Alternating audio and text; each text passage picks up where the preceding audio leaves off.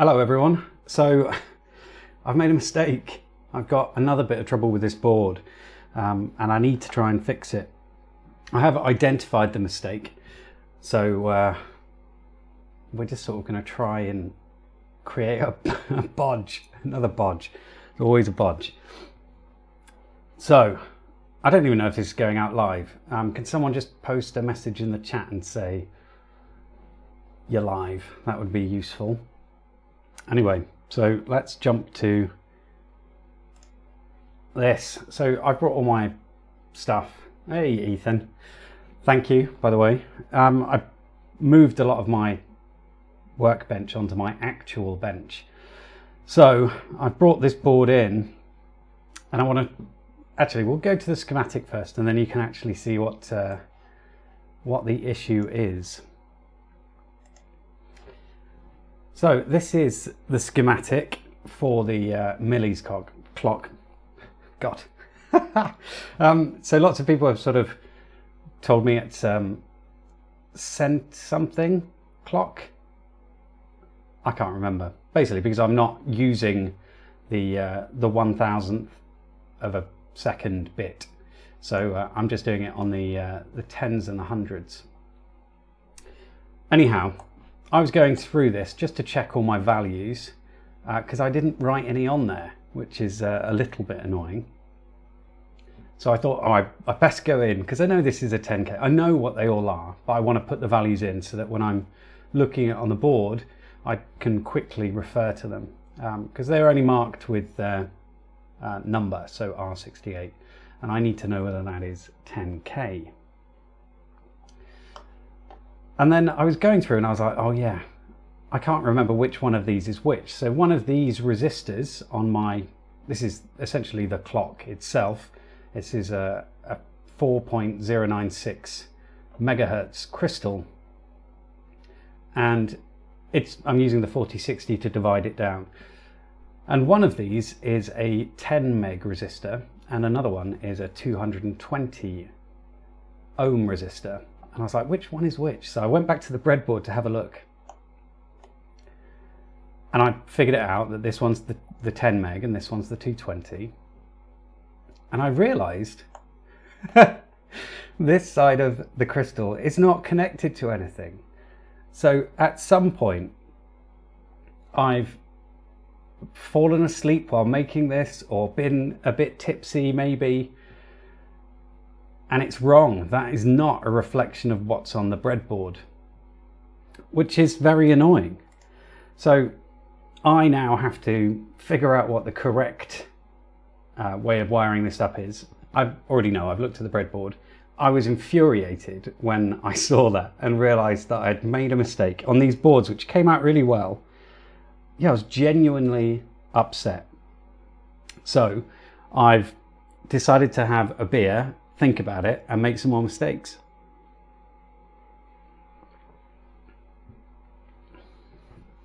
Although we've got loads of people in the chat now. So we've got uh, Ethan, Stephen Ludgate's here. Hello, Ludders. Oi, I dropped you a message in Discord and you have not responded. Uh, Dave Darko's here. Uh, Andy Mouse, we've got Rob. Dustin's here. Hey, Dustin. Gerald's here. Good old don't panic profile picture. Hey Julian. I've got Mark Olson, Christian, and that's it. Wonderful. Thanks for all coming. Um, well, we're going to be playing about with this clock and trying to fix it. So basically, you're here for a bodge session. I've got me some little bodge wires. Well, I'm using them as bodge wires. They're just red and black wires. Um, and I've got some of the components to make this work. Now, we're not going to be putting the whole clock together because it's going to take too long to do that. Plus, I don't know what else is wrong. So we're just going to do it bit by bit. We're going to get the clock working. I've got something I can measure the clock with. Um, it might, I might even be able to do it with a multimeter, although I don't know if that loads too heavy or not. But we've got the uh, 4060. So the 4060, I've only got 10 of those because I've only got 10 boards. Uh, the 4073 I don't need. Some 220 ohm resistors, 10 meg resistors, 22 picofarad capacitors. 10Ks I don't need for this. The USB connector I'll need and a crystal and that is it. So just those components and what we're going to put on the board. But, oh Gerald, that's very kind. There is absolutely no need for anyone to do any super chats. I don't encourage it at all. It's your money. You should spend it. But thank you. It's very kind. So yeah, I'm going to drink a little bit more of this beer.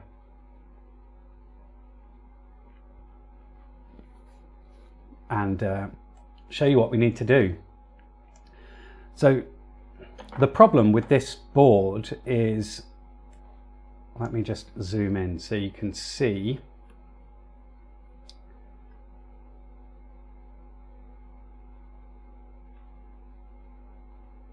It's around there. So this is probably going to time out in a second but because it's very difficult to see those traces isn't it? Let's come in a bit more and we'll brighten this image up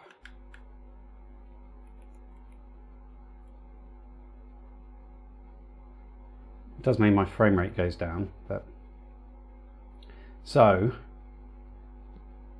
back on, in fact, let's, we'll jump back to the schematic quickly and then we can see which uh, resistors it is that we need to worry about. So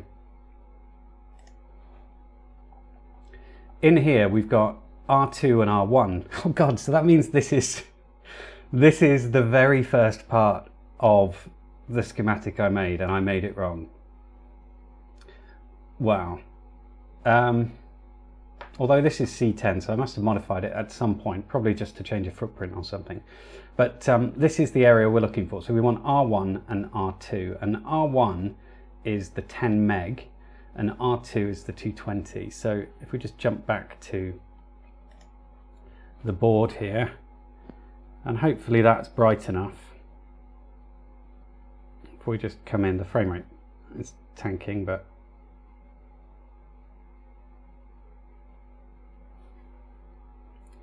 So just here is R2 and that one there is R1 and there are tracks that run underneath that 4060 we need to cut those and we're gonna have to cut the two there as well because this thing is not wired correctly. So we're gonna have to be very careful and cut that trace just there. Actually I could cut it underneath the chip it doesn't matter. But those two do you know this board is massive? I actually have loads of room to have laid this out in a, in a better way and just moved components out a little. And then bodging would have been a lot easier.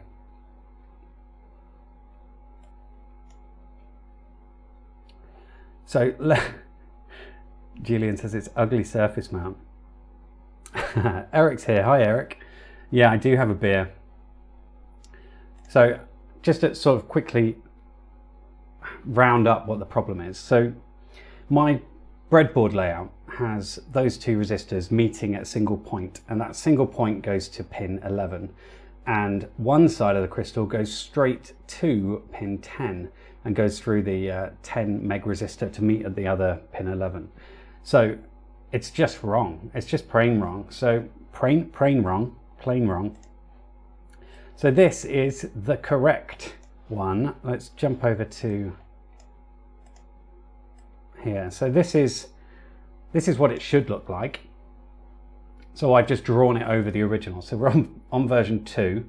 Uh, so really, if I was paying attention, I would have moved these components around a bit nicer. So that one could have been sat exactly where that R10 is, R1 rather. So that's what we need to do. We need to rewire um, this correctly.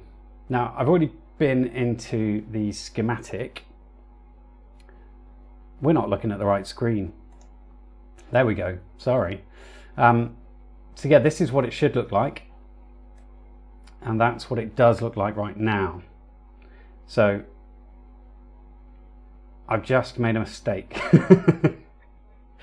Quite a few mistakes really. There's a few connections that are out there, but um, I think we can bodge this by just cutting the traces and wiring things together. So I don't need to cut the trace here from um, the 10 meg resistor, but I do need to bodge across and bypass it.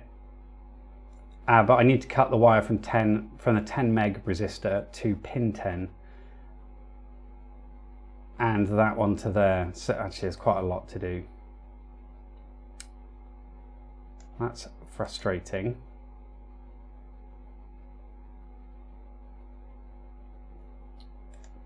So this is the board at the moment.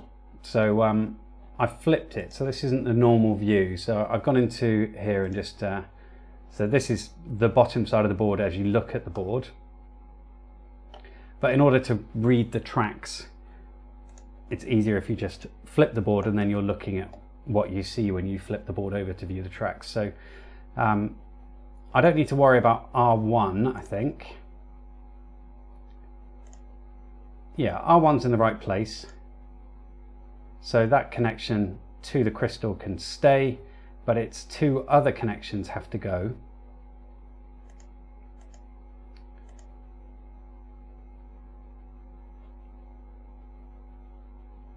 So yeah, it can't go over to here where it connects through to this resistor, and that resistor does not go to pin 11. So we'll cut this trace, and we'll cut those two traces there. And then we'll try and figure out where we're, where we're putting everything.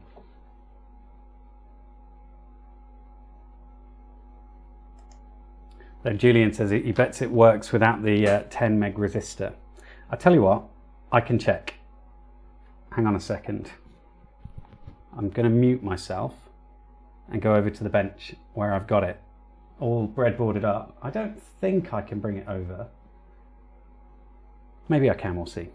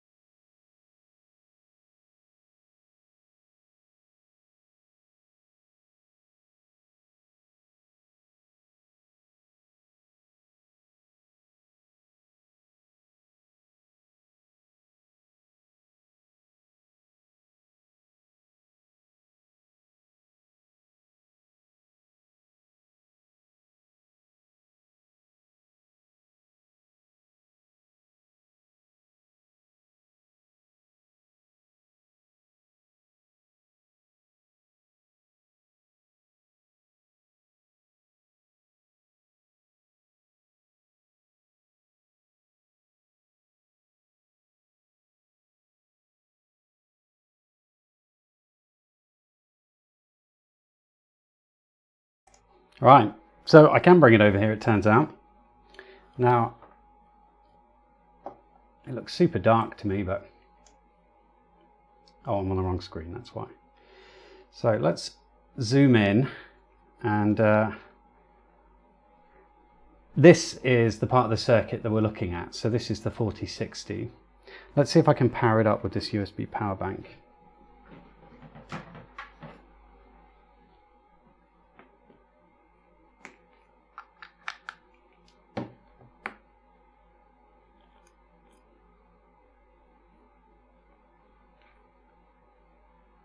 There we go.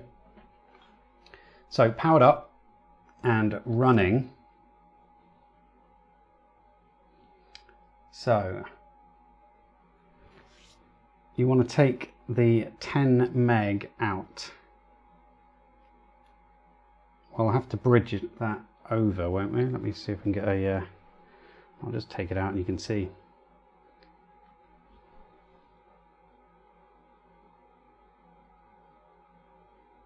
Well, I'll be.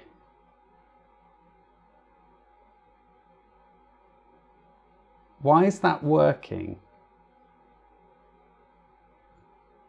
Julian.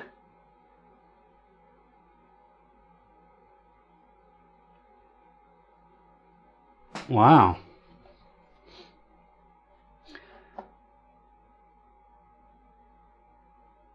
Oh, Cyan Tan doesn't like my jumpers. Wow. Tough. That's just the way it is. It's a lot easier than cutting wires to length just using pre-prepared jumpers. Well, it does work without the 10 meg. Still, that doesn't help too much um, because it's still not connected in the right way. So Okay, if I can take that out, then I just need to bodge a wire from one side of the crystal over to pin 10. I need to cut the connection on pin 10 because there's only one connection to pin 10. And yeah, I suppose they don't pull a lot of current, do they? Um, so if I cut, let's just do it now.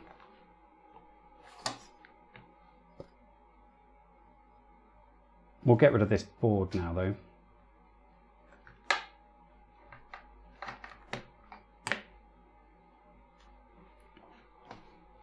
Sorry, I'm going to have to take my mic off again because I can't get far enough away from the bench.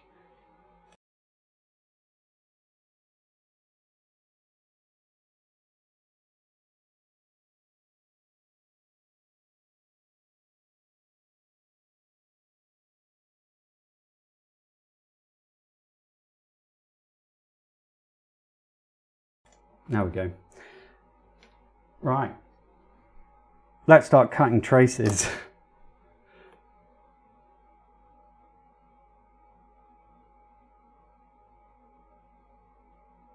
right, so it is, I'll cut both of them on R2 and the one from R1. Um, and then we won't need to populate R1.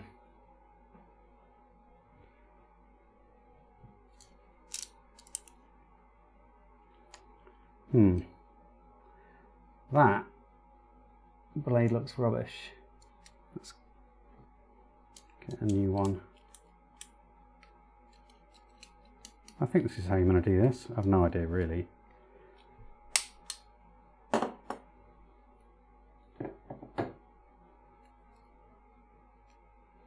Now the problem with these blackboards is that I can barely see the traces So I could bridge this across. Is that pin 10? Let's have a look. And then just cut these two. So I wouldn't need to install the 10. Let's have a little, yeah. So that, that would work. And I just need to cut these two. All right, we'll cut both of them on R2. And then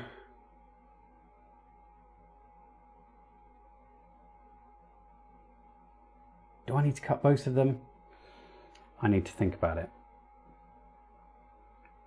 You want to see the schematic again? Sure.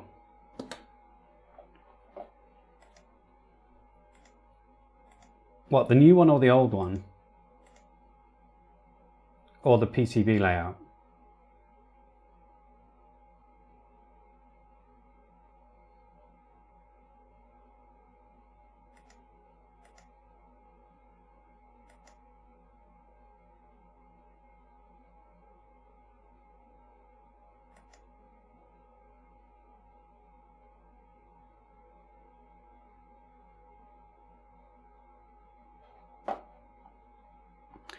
So Lassie says I don't need to cut the traces. Remove R2, replace R1, wire from R2 to C2, C1.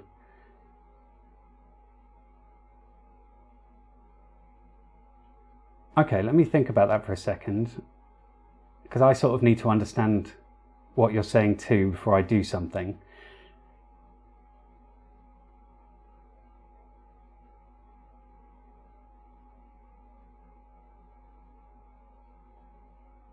I know what you're you're talking about. basically, I'm flipping the crystal around and using the other component on the other side. Let's have a look what it actually looks like right now. So let's bring the desktop up. So this is what it actually looks like now. And so if we, I think this is what you're saying, um, if you just ignore the fact that R2 and R1 are different, because we can just make them whichever one we want. So I need, I don't need R1, but I need one side of my crystal to go to pin 10, straight to pin 10. And the other side to go to the resistor and go to 11. Hang on, is that right? So if I remove that, so we need one going, that one goes to pin 11. So that's our R2 or our R1, doesn't matter. And then the other guy's side goes to 10. So this is a current schematic and what is currently there.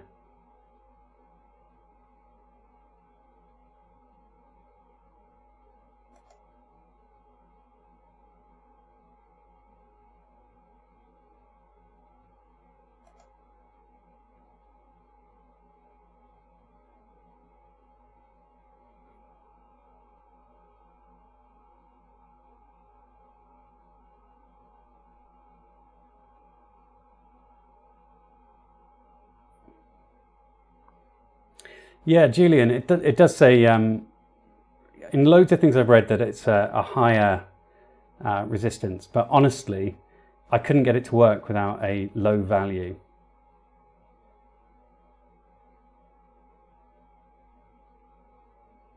Yeah, I thought that I thought the 10 was in there to start the oscillation, honestly, but it seemed to work when I took it out. So maybe it's because it's already started.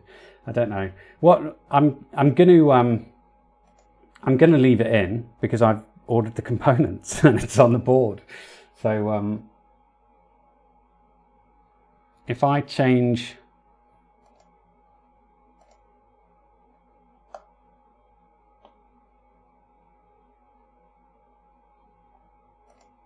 so 11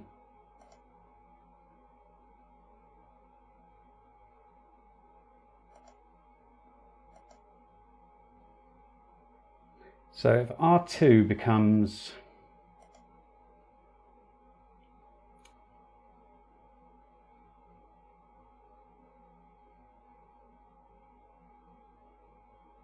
Okay, so if R2 becomes R1, that becomes a 10 meg, then it's basically in the right spot already. It just needs a... Oh no, it doesn't. It's not in the right spot. Sorry, Lassie, I don't know what you mean.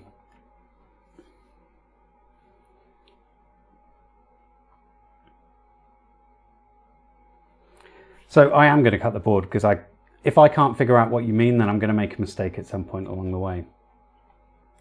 That's just basically how it's going to be, unless I can figure out what you're trying to explain to me.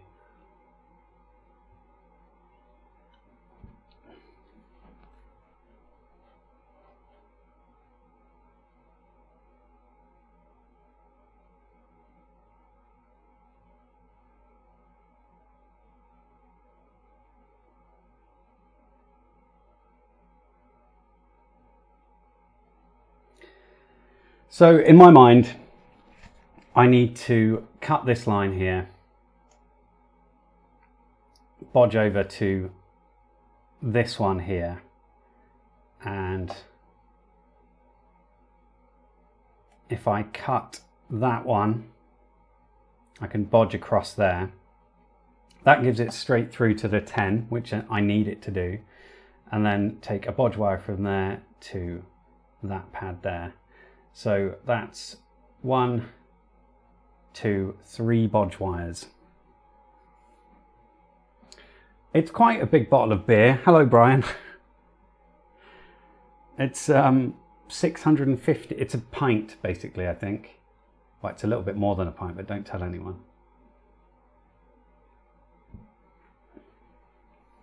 Tiny LED matrix here. Hiya. You've got David B as well and Simon Howroyd. Yeah, it's tiny hands, that's all it is. Uh, how do I change this? Sorry, my computer's done this thing where at night time it changes the colour.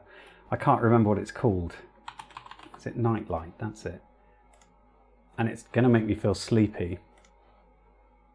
There we go. I think Jeremy Beadle only has the one small hand.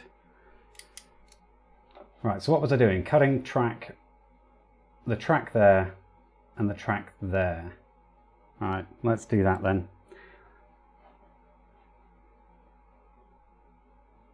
R2 is 10 meg.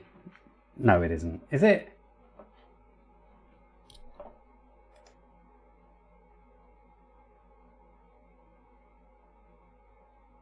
Yes, it is. No, it's not. That's not the 10 meg one. I'm fairly sure.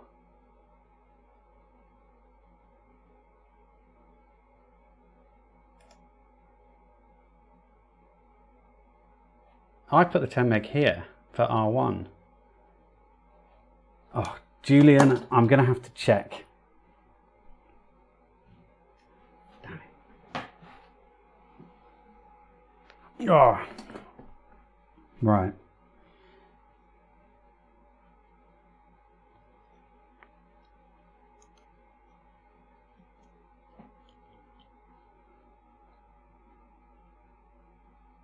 Oh, I need a bloody multimeter. Oh, I got a new bag for my tools, which I'm really pleased with. People told me not to get a bag. Uh, they said get a, um, just put it in a box instead. But I bought one of these, Work Pro, and it's really ace. Like it, it opens up really wide, so I put all my multimeters in there, and you can zip it up so it doesn't get dust and stuff in.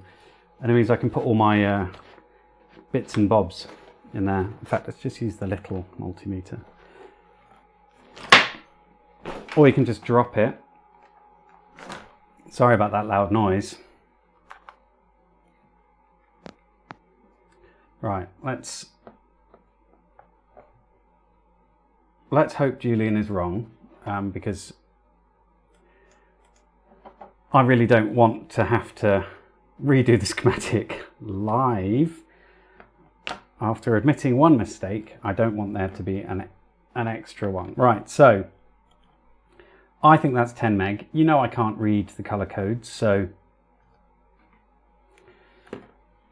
yeah, it is a bit blokey, isn't it? It's a color scheme. I wish I'd I, will put a pump on on it later or something.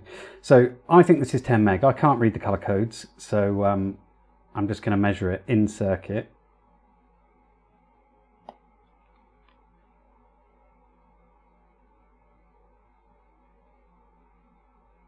okay, this thing cannot read those. Let's get the other, let's get the big boy one out.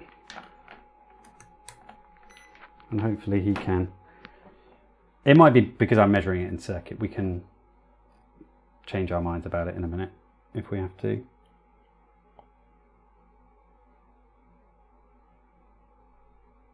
Yeah, so that's my 10 meg. and then this one is my 220. So 10 meg goes from the crystal to pin 11, um, a meeting with R2. And that side of the crystal goes to pin 10 on here. So if we jump back to this schematic, R1 is 10 meg because it goes on this side to pin 10. So we need it, it is definitely that one. So on our, on our hour, I always say hour, um, just throwing you in with me. So I need to bridge there, cut this, and then jumper this over to that side of the resistor. This line needs to be cut, and that needs to go over to that side of the crystal. Okay. I think. We'll see.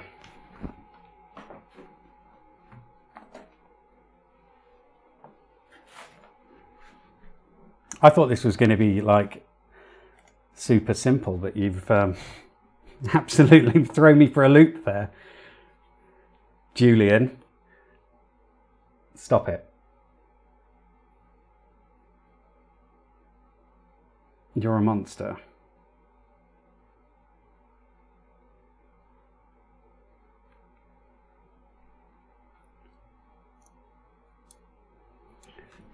Oh, Simon, what software is that? Doesn't look like Eagle. It isn't Eagle. I've ditched Eagle for now, not forever maybe.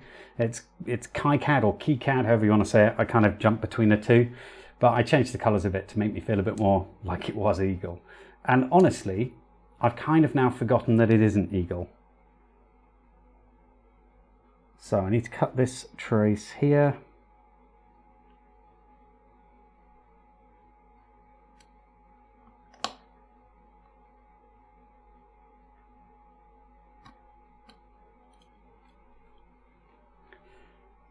Wonder if that's actually cut. Multimeter time. Let's do a little continuity.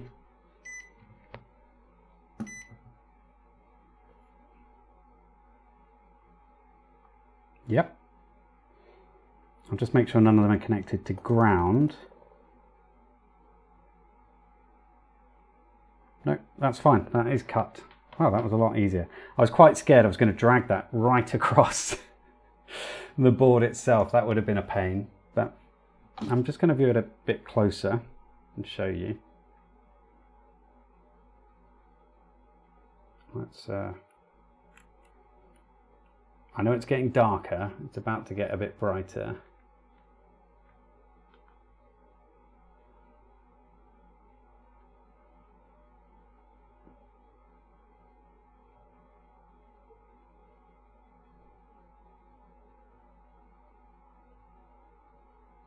I'm really surprised it cut so well.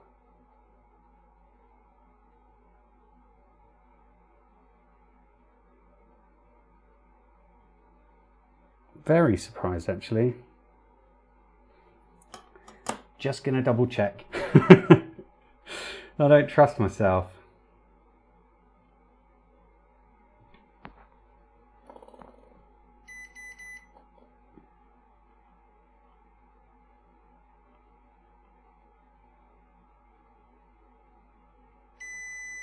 Okay, it did it did cut it, fine. Good.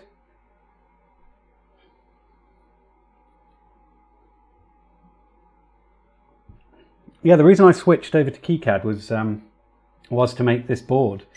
So I learned how to use it just so I could make this board um, because it was too big for the free version of Eagle. And not that that is a real problem. I've got now a licensed copy of Eagle, but I just don't really want to stick with it, so I'm not going to use it. Now I need to um, cut this trace here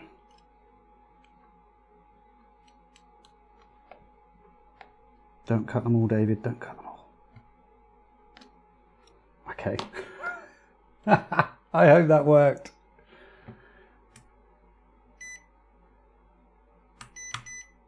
Oh, the secret. The secret to that, David B, is to never use the auto router. They're always useful if you want to see if a circuit, like Julian likes the auto router, I think. They're useful to see if a circuit can be routed easily enough. You don't need to be like a superhuman to do it. So is that connected still? No, how easy is that to cut a trace? I could like drop something on a board and cut a trace. Okay, so we need to solder on some components now, I guess. I'm going to leave it up to you whether I use hot air or a soldering iron because I've got both here. So you guys can just tell me which one you want and we'll do that.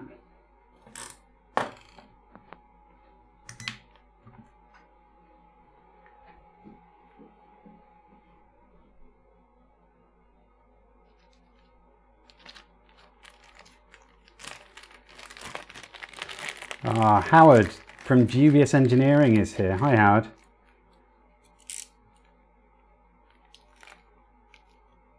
Hey, Liz. Yeah, I was working on that um, the BPM Beat project today, you know, and uh, I was trying to do it in MicroPython. Yeah, that's not quite happened yet. Uh, I was trying out all the buttons and I think I've come up with a, an interesting solution. It's a hybrid solution to give us a bit more flexibility. So, I'll tell you what, while we're I'll just open packets of stuff here because I've got to get all the components out. I don't know, I can tell you about it if you want, Liz, now, or I can, we can just wait for a video. So these are the 220 nanopicofarad, I hope. Yeah, picofarad, picofarad capacitors for loading up that crystal. So um, basically, buttons, rubbish. Don't work very well, Liz, for this beat thing. If any of you don't know, when oh, I've lost a component already. And another one. Damn it. They're so small. Oh, I found them both. God, I'm a genius. So this it's a beat project thing. Julian is gonna do my nutting. Right, uh, tweezers.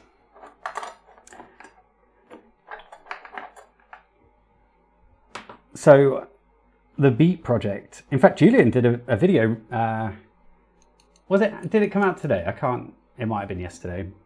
Um, but it was about a, a drum synth, um, which is sort of a little bit like what we're doing, um, especially since yours was driven by a or triggered by a piezo. Piezo.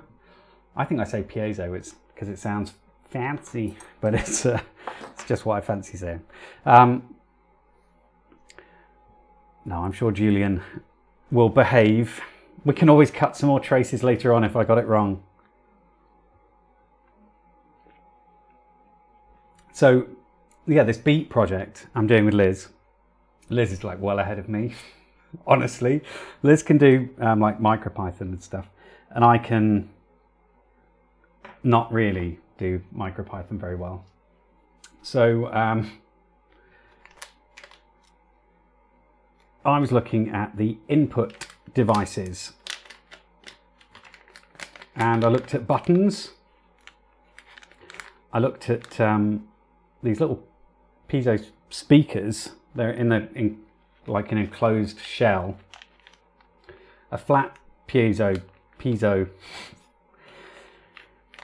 transducer and um, what was the other thing? Oh, a little electret microphone. Um, and I thought the piezo was the best, but Liz likes the touch IC, not IC, sorry, the sort of, what is it, cap, like cap touch. And so um, that can work. So Liz has already demonstrated it, the cap touch works. We're doing hot air, aren't we? So I don't want to get everything out just yet. I need to take my mic off. I'm just going to mute.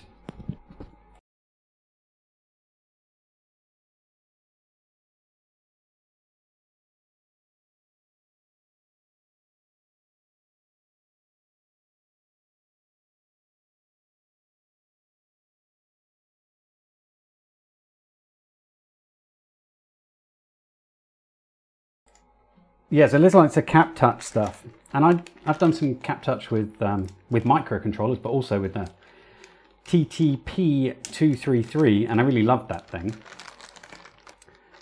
So um, I thought, well, why don't we merge the two together? Because there are benefits to the touch. Like it's nice, it's easy, you can put it on a circuit board, it's super simple and uh, a lot of it can just be done in software. But touch is limited in that you can't get force information from that. Um, you could get duration, which is great, but you can't get force, like how hard did someone hit that thing? Because it's not analog, it's just digital on off. Um, although you might be able to get how big was the thing that was touching the thing, I don't know. But basically, with a transducer, with a piezo, you can, um, I need something to stick this stuff on, post-it note, perfect. With, um, with a piezo, you can get force information. So how light was the tap? So that you can have harder and lighter taps. So that's basically what I was looking at. Right, we'll come back down to the, the desk now because it's just me um, I'm just going to squeeze out some squeeze out some paste. Hopefully it's warmed up enough. It was in the fridge. That is more than enough. Oh, I've forgotten the toothpicks. Hang on.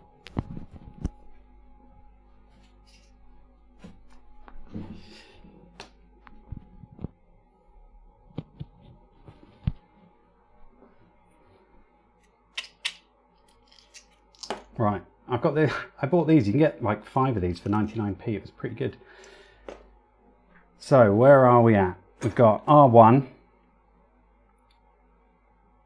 Oh God, Julian, you've messed me up. I can't remember what R1 is. That's the 10 meg. So good, because I've already got that one out. So R1.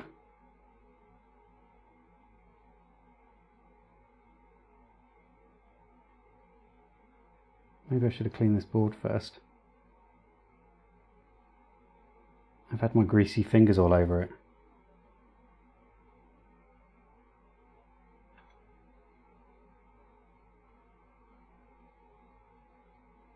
Mm, it's probably enough.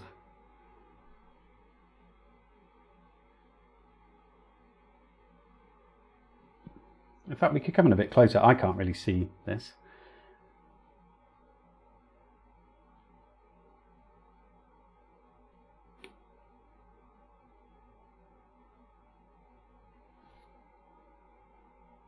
Let's see. A bit closer than that. That's enough. It's dangerously close to that trace. Don't worry, it'll jump out again in a second because it only zooms in for a short period of time.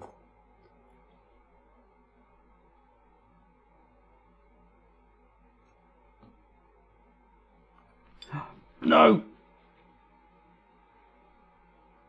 Oh, I've got it. It landed in my lap. Whew.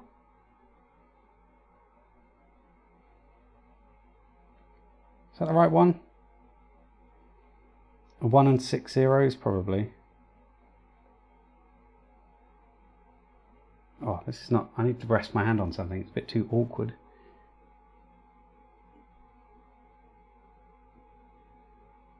Lord, that is so small. Look at it. That looks ugly as well.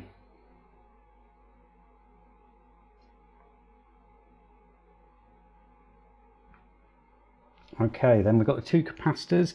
I've only got one resistor out for now because they're so small I reckon I would have um, mixed it up.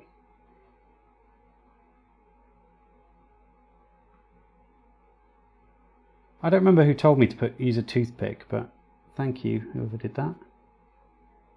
Rather than trying to squeeze it out of the syringe onto the pads.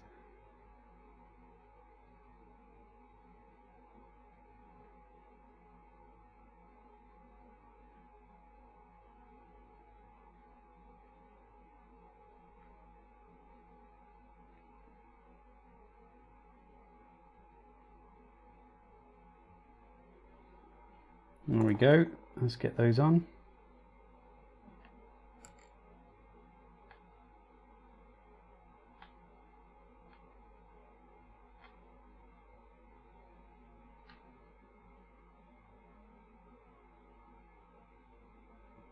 There's one. And there's two. That'll be all See you, David.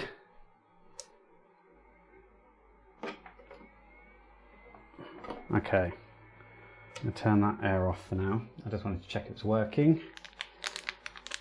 Oh, it's a bit smelly. What am I burning? I don't know. So 22, and the other one was 200, wasn't it? There we go, 200. Not that you can read it because it's really far away. Oh yeah, Julian's doing a competition, everyone. So um, it's on JLC PCB, and uh, he's he's got his vocoder project. This is like your magnum opus, isn't it? Your I was going to say swan song, but that's not nice. I mean, it's your last thing. Who knows, Mark? Who knows? So yeah, head over and vote for it. You do have to register with JLC, I think, but you know, you could be making circuit boards with them anyway. This one's a JLC. Hashtag not sponsored yet.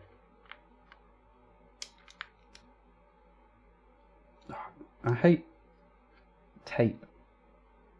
Getting components out of tape.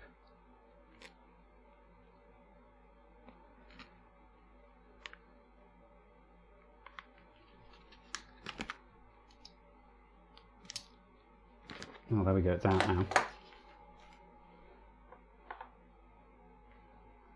We need up um, there. I can't talk. Need a bit more paste here.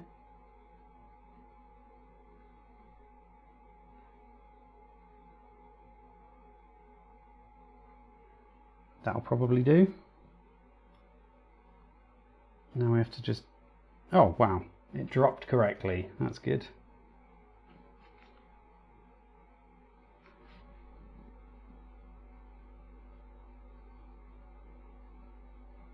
There we go, not too shaky.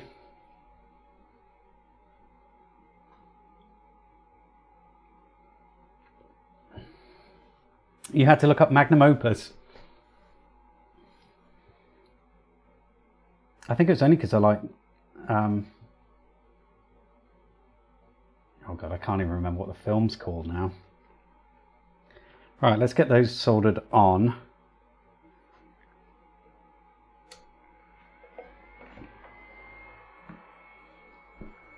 It's 100 degrees. Oh, I was doing some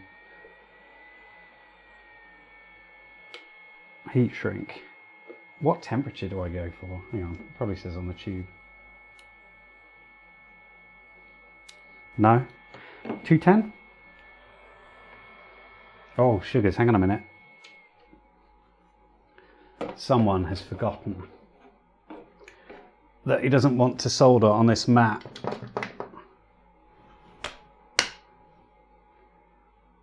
Uh, I've got I've got shaky hands because my um, blood sugar's pretty low. Because it's been a very long time since I've eaten. I ate at lunchtime and I haven't really had anything since. Should we get that? Um... Actually, we'll leave the crystal off because I might have to heat this board a lot. So this isn't a real floppy disk, by the way. It's um, a silicon uh,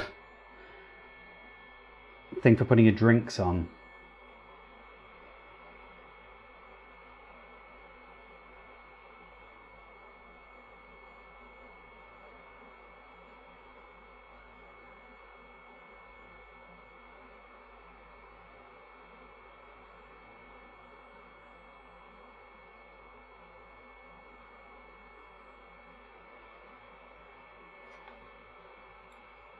200 degrees doesn't seem to be doing it.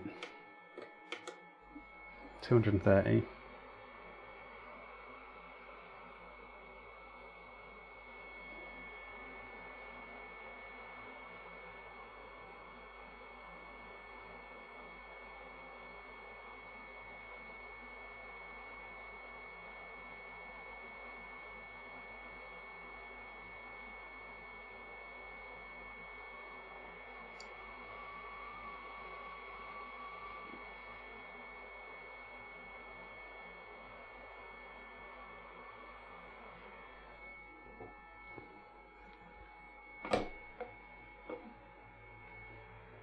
Well, there we go. Oh, careful now. Let's um, see if we can't focus up here. So there's my cut trace. And that, there's a bit of some solder balls there. Oops, don't want to get too far away. Oh, he's upside down. That's frustrating, isn't it? Hang on, let me grab a toothbrush and some IPA. Oh, I can see it's out of focus, sorry.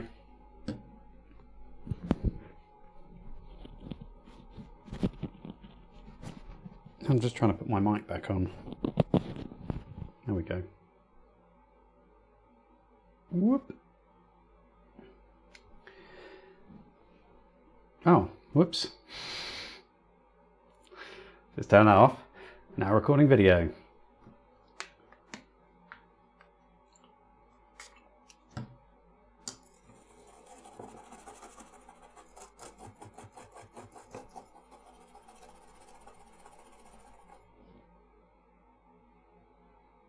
Right, let's have a little, a little look see again and just see if I've cleared some of that away.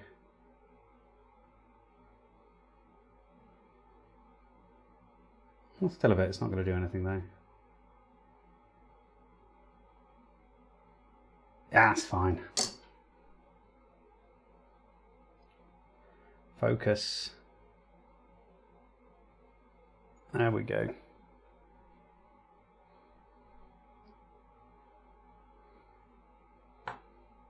Right, now we just need to get the crystal on. I guess we're going to hot air this as well because I think I said I would. Hang on a minute, let's just...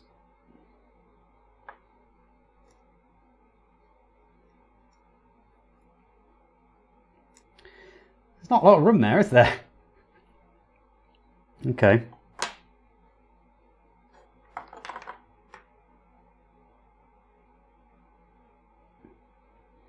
I definitely don't need to do the whole underneath bit too much.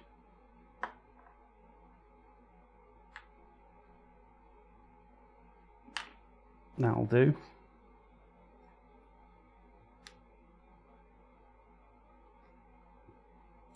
I've never even considered hot air soldering one of these.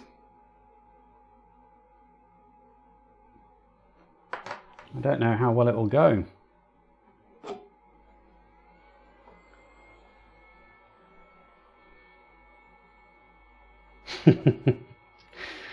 so everyone else's doctors told me that you should always keep a bar of dark chocolate and can of full fat genuine Coca-Cola in the lab next to the first aid kit for emergencies.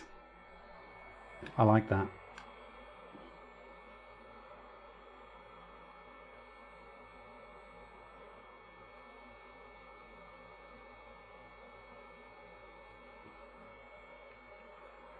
Oh, careful, don't unplug the camera.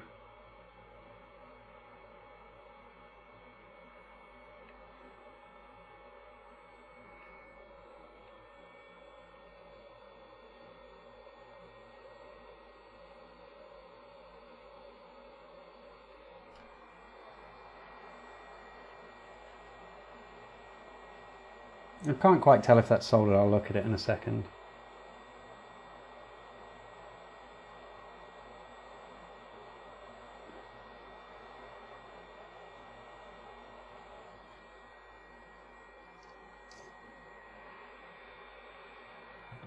Let's, uh, let's have a quick look and see if that has soldered.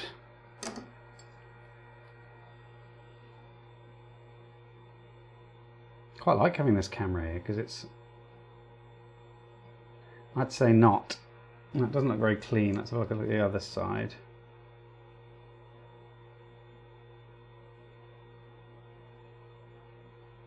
Yeah, that looks right. But the other side...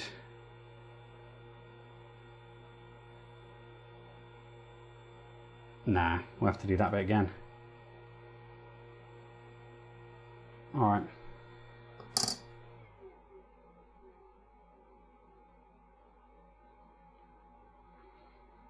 I'm just going to stick a bit more paste on it. I could put a bit of flux on there too, but we'll just put some paste on, it's fine.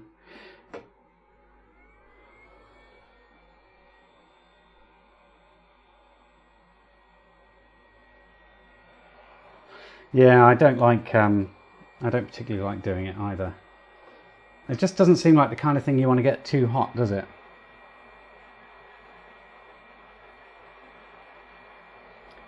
I think it's because they have a rating of accuracy for temperature and that makes me um, concerned. I'm sure it will cool down. It'll cool down as my beer warms up because I've stopped drinking it.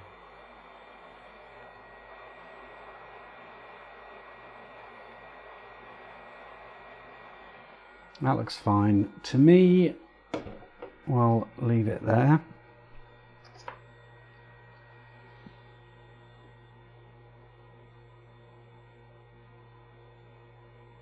Wow, it's definitely soldered. I don't know how, how nice it looks. There's a bit of a blob on the can. Ow, it's warm. Sorry if that was very loud. Yeah, that was quite hot. Well, those proper ovened ones. Um, uh, the mat has suffered a little. It'll be alright. This has gotten very warm, so while it it's fine, it's um, sort of gone through that. So maybe I need to spend less time on it. Now we need the 4060, and I did say we'd do um, with hot air, so I guess we are. And then we can look at the bodge wires.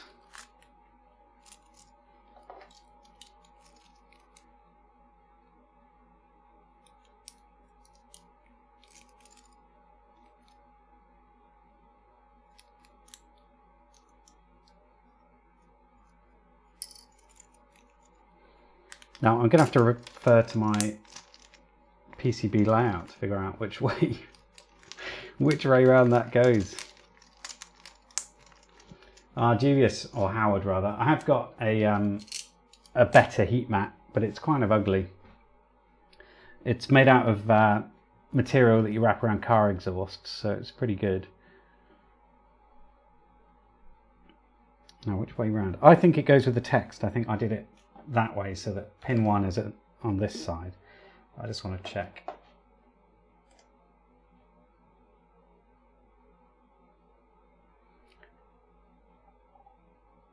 Yeah, pin 1 goes towards the crystal, so it does read the correct way.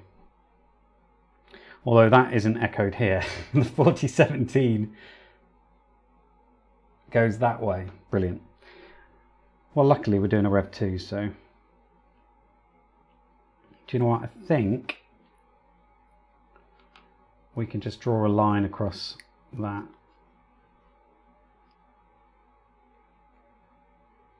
Sorry. So I hate um, this. This thing's rubbish. I don't like it at all for dispensing paste, but I did see one that had a much nicer handle because this thing doesn't go in all the way.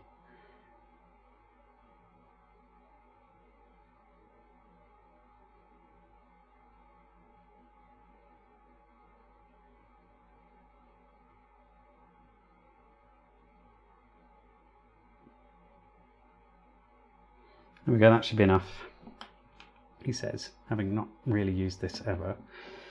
So this is probably my third time hot air soldering. oh well.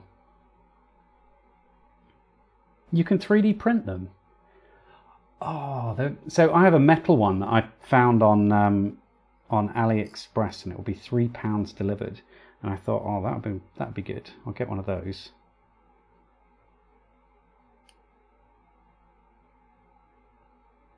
There we go. Do you want a little, do you want to come in a little bit and see that? Probably should have done that to start with.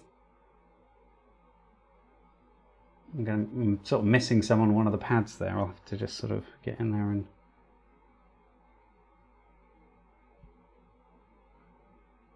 hit it with a little bit. I have to readjust that chip now.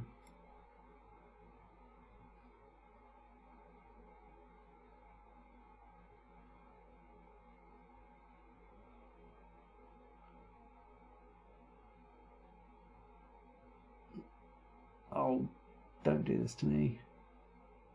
There we go. Let's give that a go and hopefully it all works out. If not, I'll um, put some flux on it.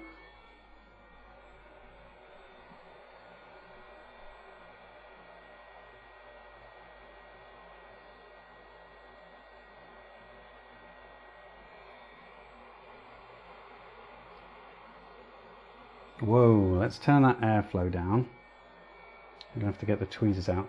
Sadly, I use tweezers in my right hand, uh, left hand, and I'm using the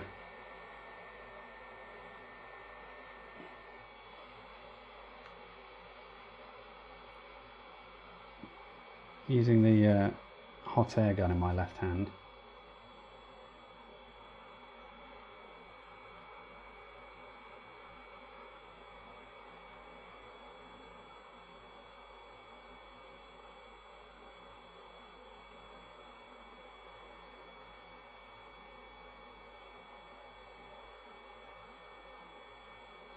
Yeah, it's not overly clean. I'm just going to put some flux on it just to see if they'll all draw together a little bit better. Oh, yeah, it's warm, I forgot. Just wait till it cools down a second. In fact, I put it in front of a fan.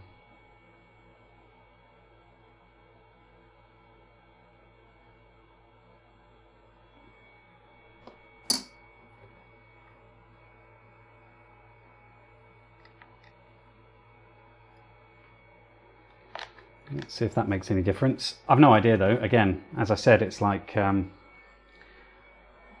the third time I've ever used the hot air gun.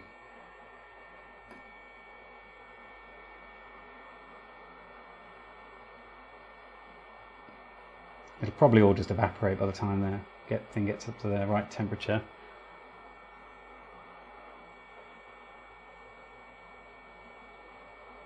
Okay, let's leave it there. That will do.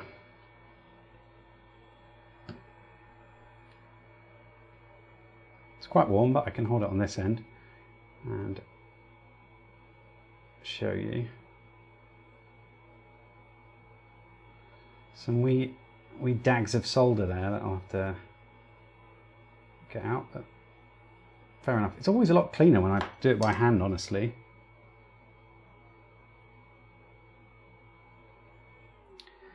So,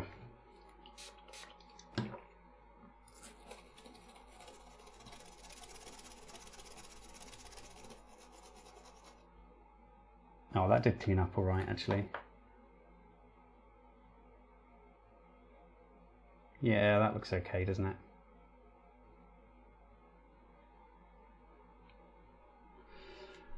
Okay, bodge wires.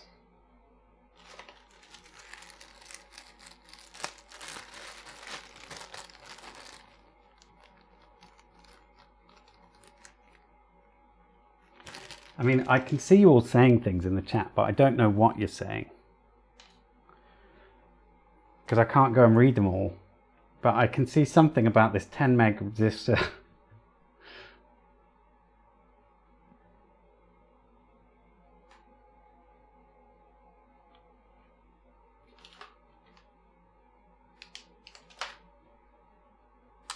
I'm going to be using, well, we don't come out for this.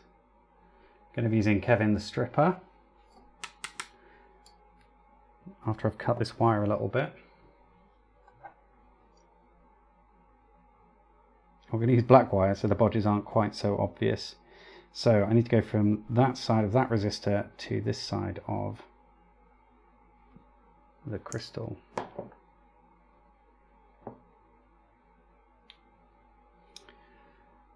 And Kevin was set up for much thicker wire before.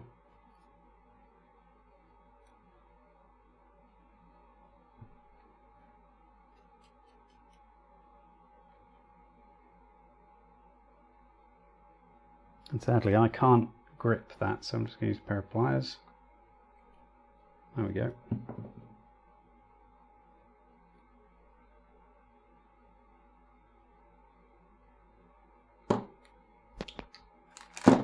We're going to need to use the uh, soldering iron now.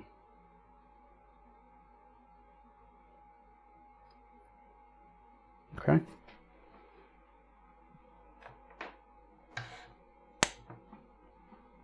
Soldering iron is on.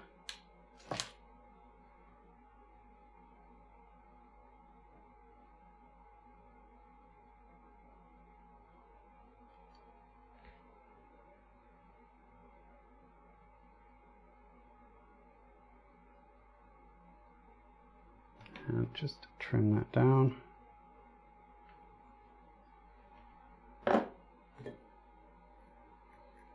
Julian, you you are relentless. Thank you very much. If it turns out it is R2, then I'll get the hot air gun out and we'll change it. But I don't think it is.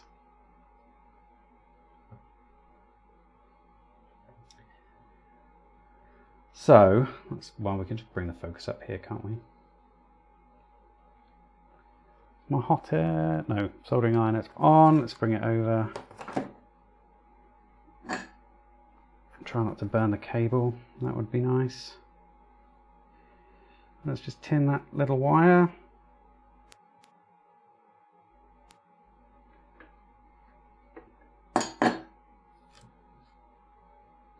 Don't don't you all start. I've only had half of this beer. I'm not I'm not ready for all these shenanigans.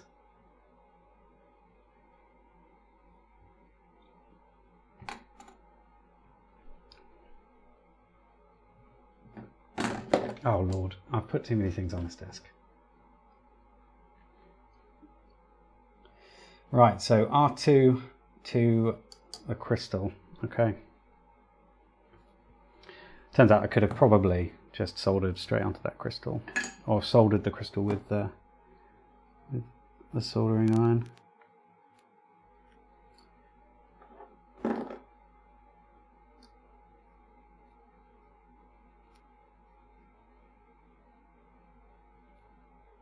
What?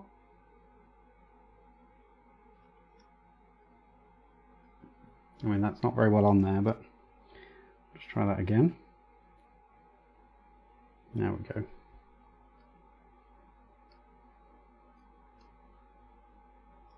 I'll just put a bit more solder on there.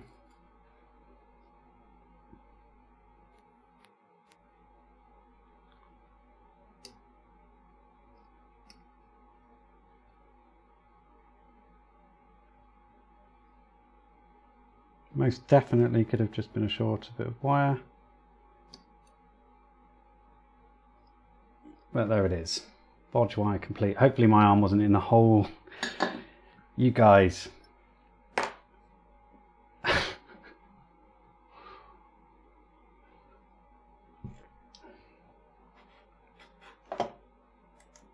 Honestly, you're absolute monsters. what, what even is going on? All right, uh, that's, how long have we been going for? Don't know, like an hour? Something like that. I've barely drunk any of this. As you know, that is very unlike me. I have got another beer in the fridge, so I can go and get that if we need to. So next, we've got one, two more bodge wires to put on. So let's get to it, because otherwise This will just descend into madness, I'm fairly sure. So we need a bodge across there, which we're going to do with the end of a, a resistor or something. I'll just go and grab something. There's one right here. So we're just going to put that across those two. So it needs to go across there. And then we need one more wire going from the other side of R1 to where I've bodged onto R2. Uh, but we'll do that in red. Do we want it in red? I'm not ashamed of having a bodge wire, so I'm going to do it in red. It's fine. I mean, it's entirely possible that there'll be other things on this board that don't work, but we can work through them one by one.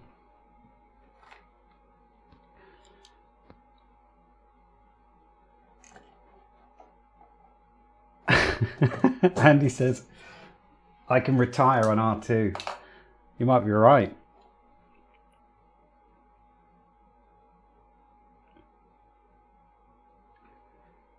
Andy says, I've had two bottles this night and now about to go to bed. Oh, Rene, for a new cold beer. Well, thank you very much. Julian, what have you started? Right, let's have this. Oh, I don't think this is going to work. Kevin the Stripper's great, but he's better for bigger wire. I don't really have a reliable method for doing smaller wire. Actually, I think I do. I just don't know where it is. There we go. That's done. Off you go, Kevin. You're not needed now. Right, and now we need to tin that. So let's do that.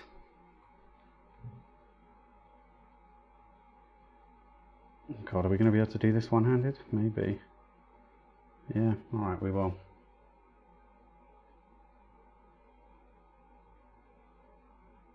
Just be able to do it. It's a very small bit of wire.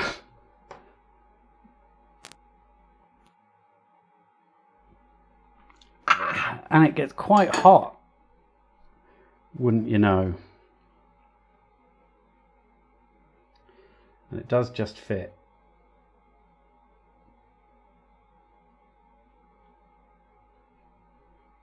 So let's do that. You can chop it down a little.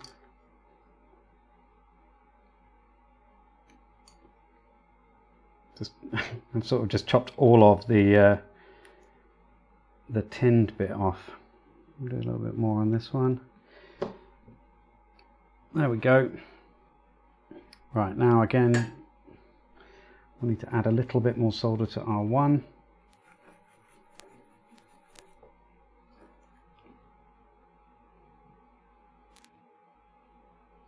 Clive would be proud of me. I don't think Clive knows who I am. Well, that's not true. I sent him one of those binary crap clocks a while back.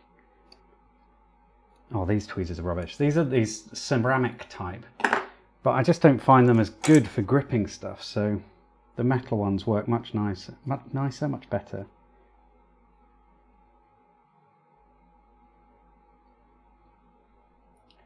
That looks terrible.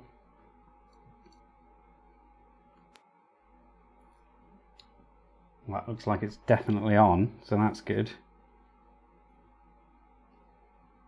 Need to bring you over a little.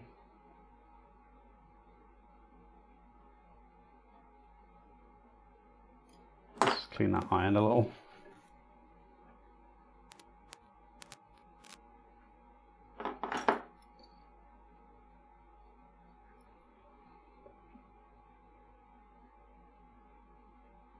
Now, I don't want you both pinging off at the first opportunity. Ugh, it's a little ugly. But I'd wager it's connected, so let's get the multimeter out and check. if that works, you'll eat your vocoder. Well, I do hope it works. Sometimes there are things when you make them in a breadboard where they don't work in a real circuit just because of the nature of the breadboard. But I think I think this one will.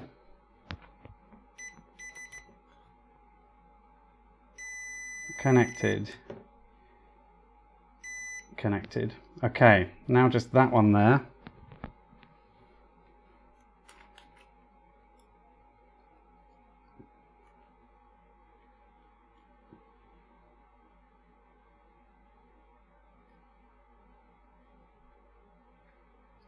So I'm just cutting a bit of this off.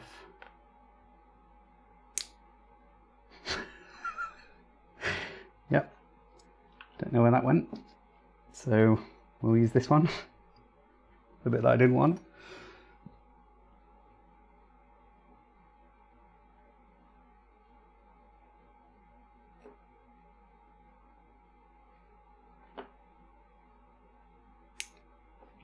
There we go, got it.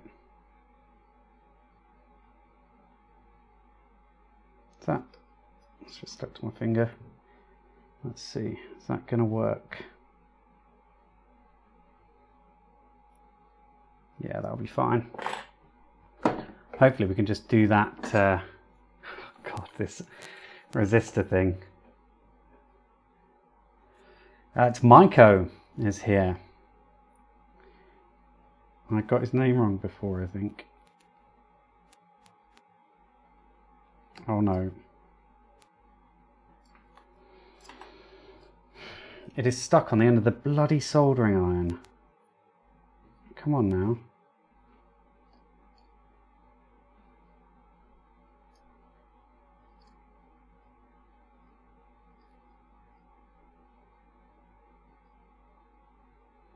Just we're gonna have to turn the board around. I can't can't do it from that angle because I am cack-handed, as they say, and I'm trying to be dexterous with the wrong hand. Oh, come on! That's good enough. Just freaking solder on there. Oh, that is ugly, but done.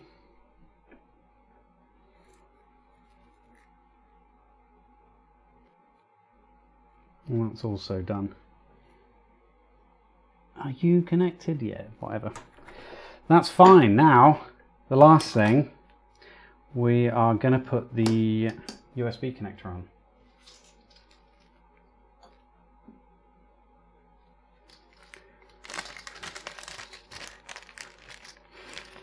I think we all knew it was going to have to have a bodge, didn't we? There's like no way it wasn't going to.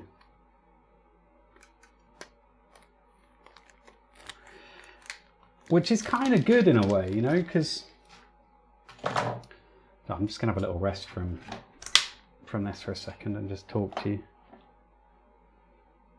Oh, which is kind of good in a way when you make mistakes, because um, I guess it means that I've learnt something in the end. If if I have to fix it, I know what I've done. Oh, the problem with this mistake, though, it's nothing to do with a knowledge gap.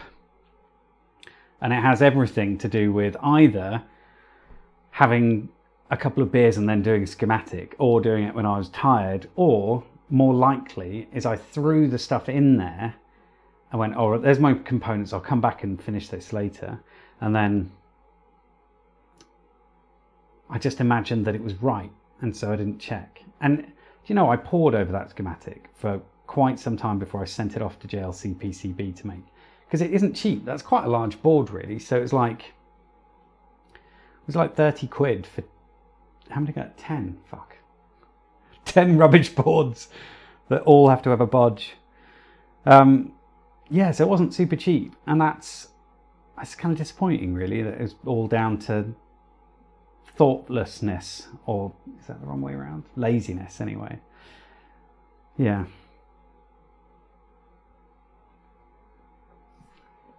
Oh.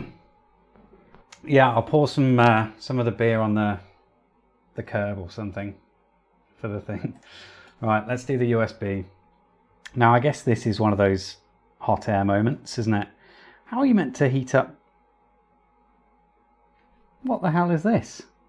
What are those two pads in there? Well, the footprint provided said they were there. Better bloody fit.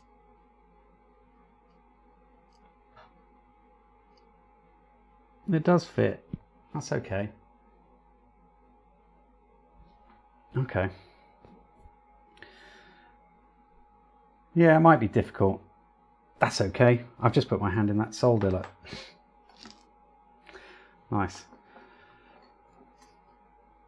It's going to be fun is what it's going to be. No, it's not. Maybe it will be. Let's get some fresh blob of that stuff. I've lost my toothpick.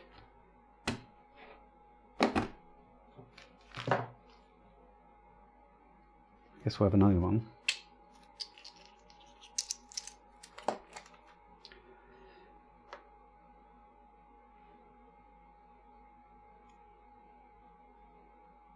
Boop. Boop. That's the sound of the solder paste. Well, that's way too much. So, while I'm doing this boring little bit, tell me what you've all been making. It's not USB-C, it's micro.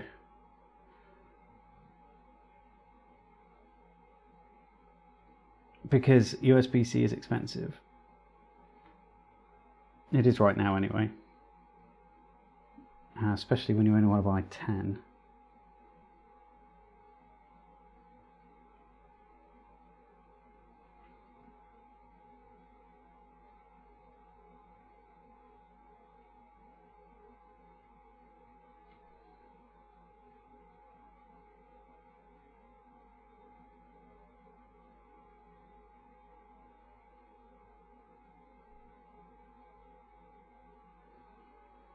Really difficult to see this.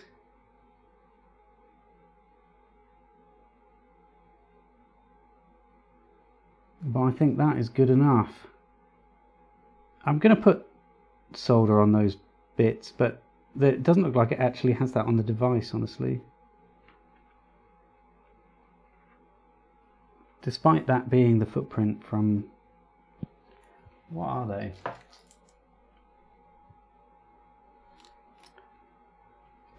I don't know, from Mouser, but I think they're a, um, a Molex part.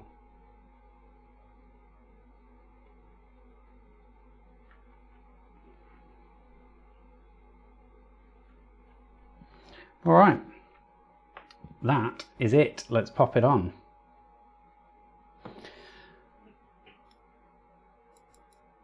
So what's everyone said? Let's have a look about what they're up to.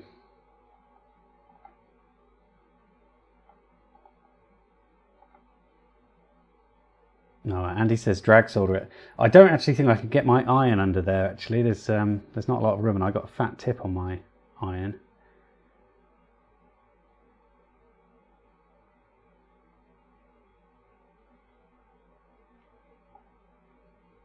Jay's Vape Reviews is here. Hello. I remember you from a while back. I don't think I've seen you for a while.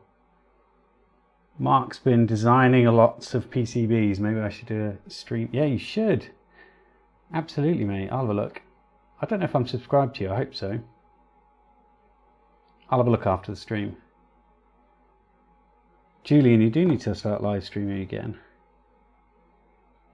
Right, have I got steady enough hands to do this? Oh, don't start.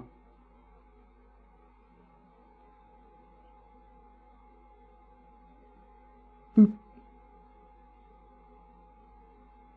That looks roughly right. Heaven knows. There might be far too much paste on that. We'll see. Right, I'm going to turn the air speed. Air speed? It just says air on the box. I'm going to turn that down and I'm going to try and go directly over it, but I want you to be able to see, so I'm not going to do that completely. This is one I don't want to have to rework.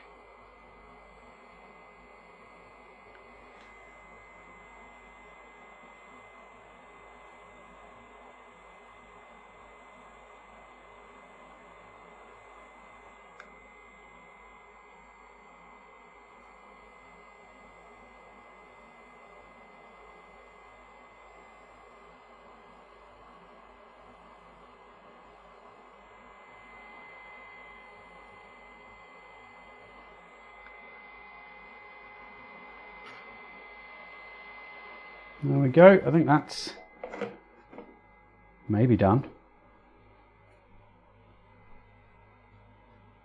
It's quite hot.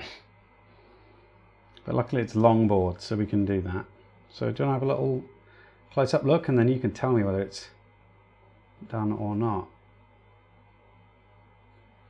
Hang on, let's just move this around. I'll try and find it. There it is. Well, I think the pads are a little anemic.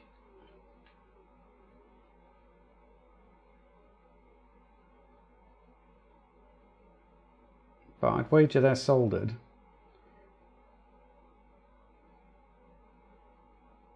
What do you reckon? I could probably go over it with the iron a little bit, couldn't I?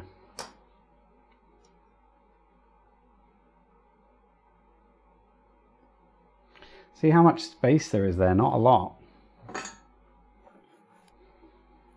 What I'm going to do with the iron, I'm not going to go over the like the pins.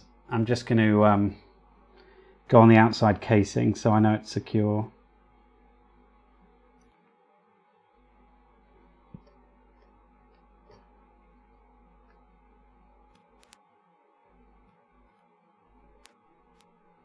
Maybe feed it onto the pad, David, and not onto the soldering iron. Well done.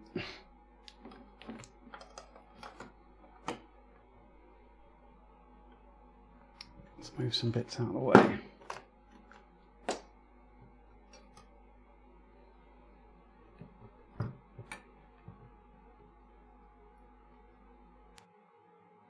There we go. Just so it holds together a little bit.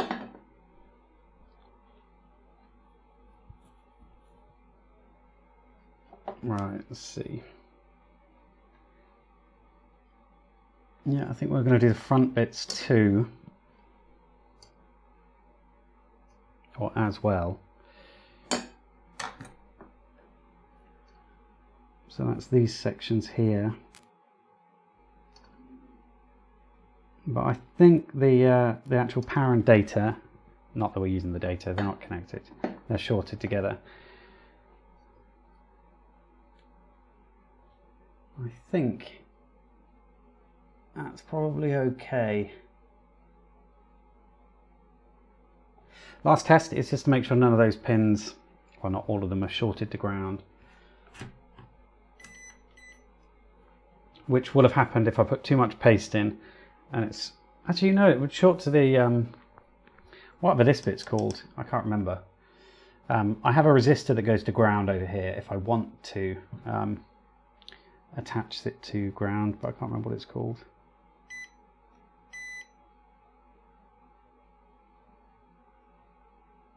No, they're not connected to that. Good.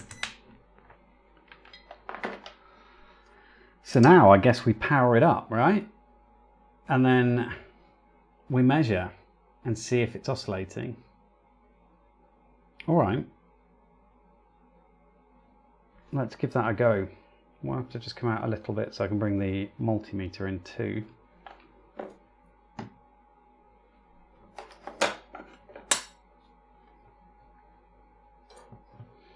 Don't. Julian, you behave now. If it is, we'll just have to rework it. It's not the end of the world.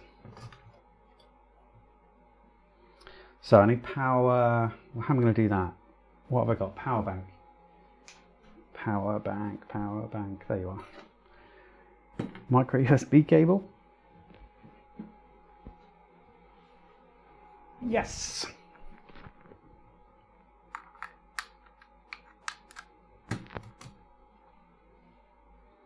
Oh, we could have put the power LED on. That would have been nice.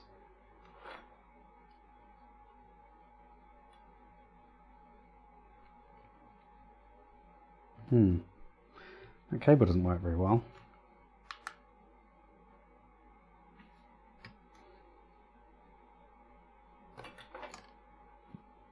Oh, it's a bit bent. I'll choose a different one. I like that one because it's got like a really floppy silicon cable, but I'll choose something else. Let's see what I've got. To take this mic off.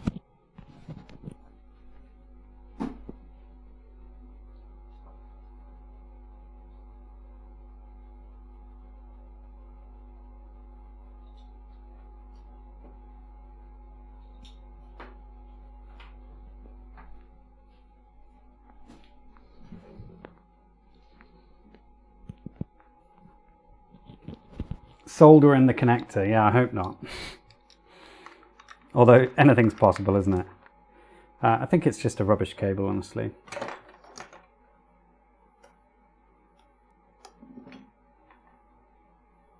Yeah, just a rubbish cable. Now, it's not going to keep the power bank on for very long, but hopefully long enough to probe something out. So I need a capacitor on ground and then let's just see if we're getting any voltage actually.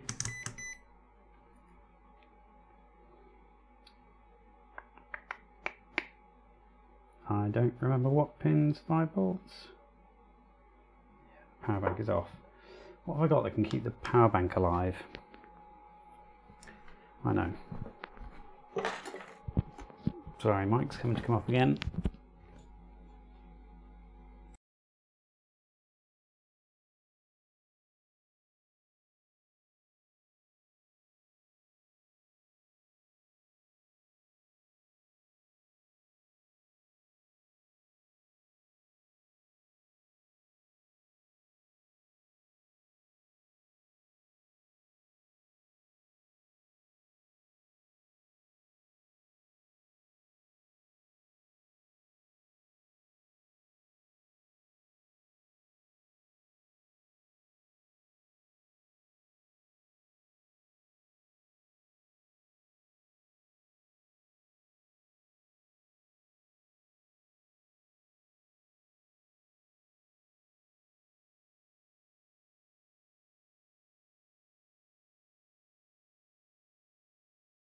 Yeah, I can't actually think of anything, but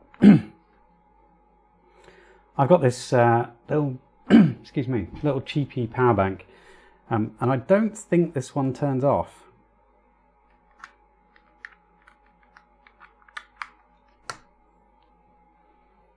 We'll soon know because the lights will go out. Let's see if we can't read some blooming voltage on here. Hmm. Nope.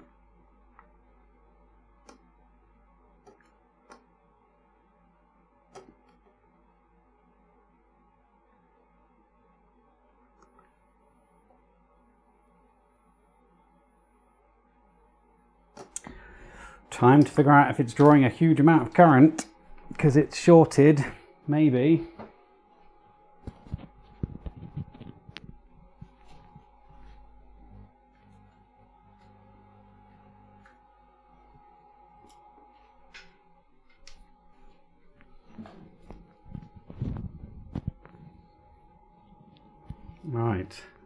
Got one of these bad boys. What is it, like a Rui Deng or something?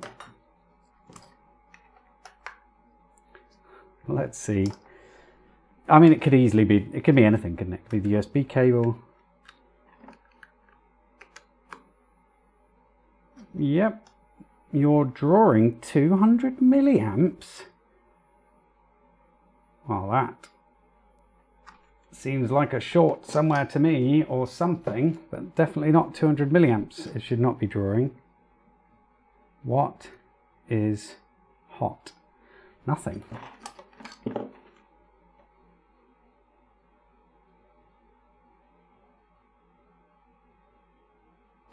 Time to check the shorts.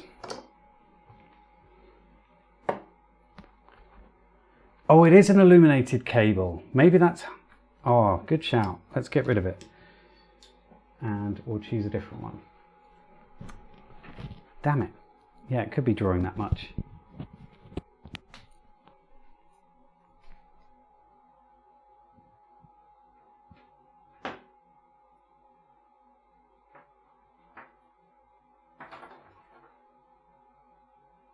I'm sorry, I'm just looking for a cable.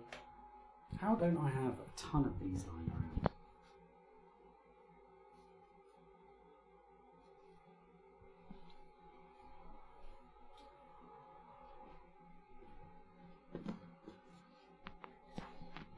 Okay. I've got this one. But I thought it was rubbish before. A good spot there. Right. That's upside down. Let's bring it around for you so you guys can see it too. I sort of have the feeling though it's probably still uh, there's a short involved because 200 milliamps. I'd be surprised at that cable drawing that much. Well, maybe.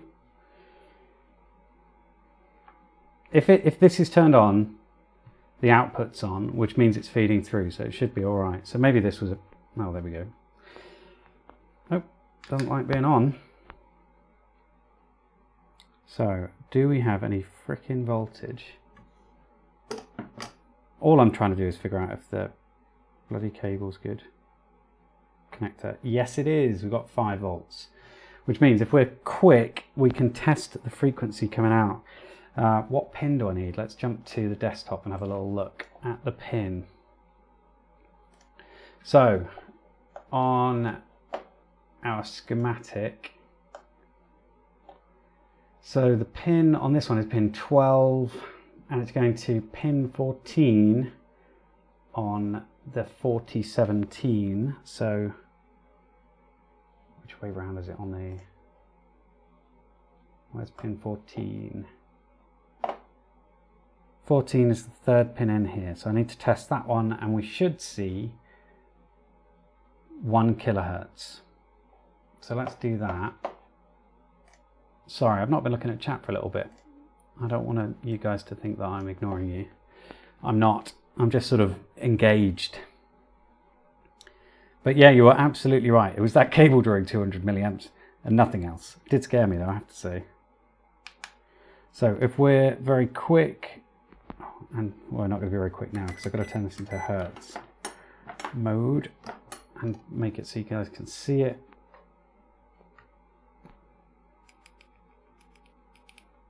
Oh, that didn't do anything. Okay, so press the button, get my ground and pin the third pin along. Hey, hey, there's our one kilohertz signal. And so that's the input on the 4017. So that's the clock pin. And the 4017 is a decade, well, it's a Johnson counter thing. Um, and so that's going to give me a 100 hertz. So divided by 10. So R2 was not 10 meg. It turns out. Whew. Oh dear. I almost sounded like I knew what I was talking about for a bit there, didn't it? you would not believe what I've done to my desk here. Have I even got my phone around? Yeah, I have. I'll tell you what, I'll take a picture and you can have a look on Twitter or something. Oh gosh. Remove anything with my personal details on and other people's. Probably. Looks awful. Hang on a minute. Let's see. One, two, three, four. Camera. There we go. Oh god, you can see me in double chinning it in the background. Great.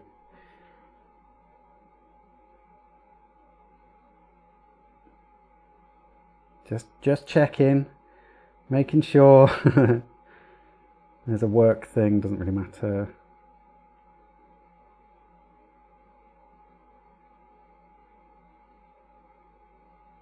No, I'm going to post it so you guys can see what I see, which is really weird looking. Tweet. Hashtag. Do I? I'm not hashtagging it. I'm just going to tweet a picture. There we go. So, yeah, I feel like. Whoa! What's this? Unexpected maker. What are you doing? That's very kind, thank you. Do you know today, honestly, you've, you've made up the cost of, of the PCBs you lot all posting super chats. That's very, very kind. Thank you. Yeah, I've spread paste everywhere. It's it, I've rubbed it on my shorts now, but it was on the on that whatever that bit is in your hand. Oh dear. Yeah, I got who knows what I've just posted in that photo that's revealing, but you never know. There's a schedule, there's a work schedule over there.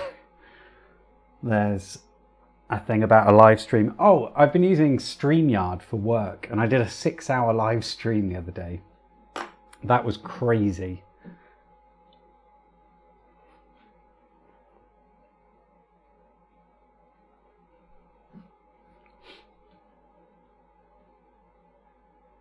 He almost completely said it while entering it. What?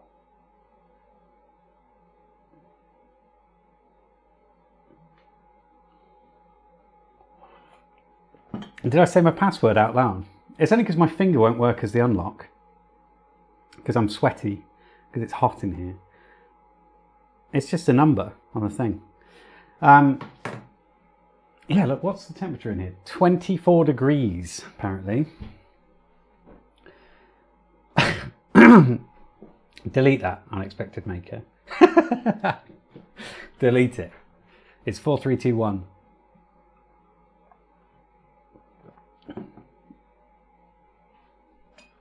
Oh dear. Um, what was I saying?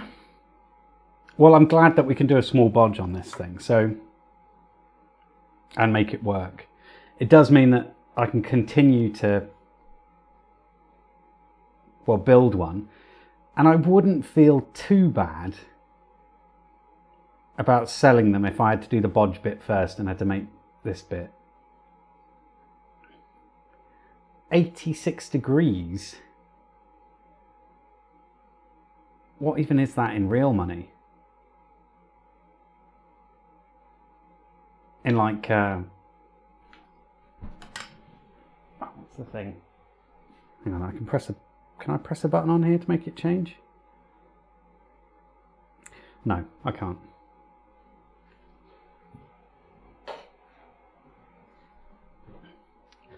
Uh, what's the extal frequency of that crystal? It's um, 4.096 million. Million? Megahertz is what I mean. 30 degrees C. This is too hot for me. I'm, I'm sweating right now.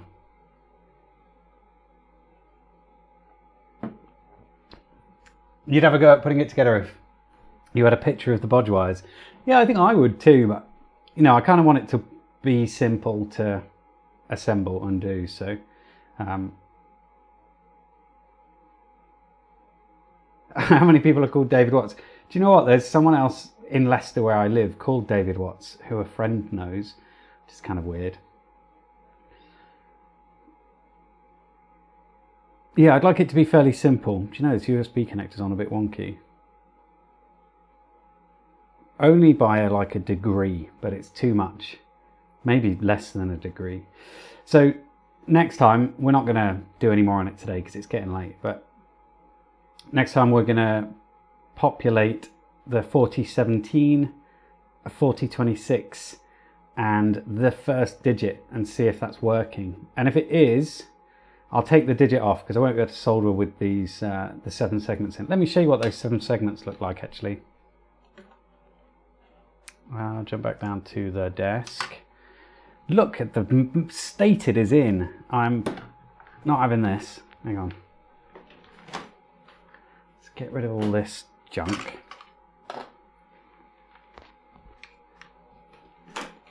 And then I'm going to take the mic off again, sorry, because I've got to go over there and grab the displays.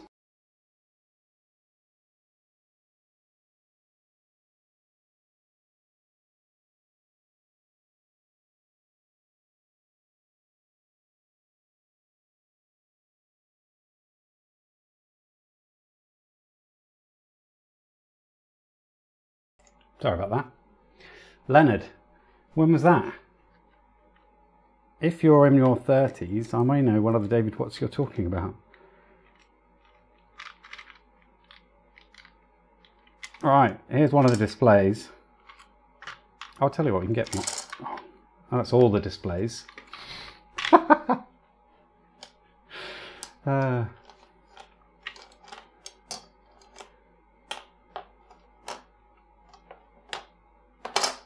let's just pop all the displays in. I tell you what, Julian, I've got 10 of these boards. If you want one and you can get hold of all the components, let me know and I'll post it out to you. And you can check whether swapping R1 and R2 would have worked. Let's see if we can just guess our way here. Wouldn't it be amazing if we could just drop this on?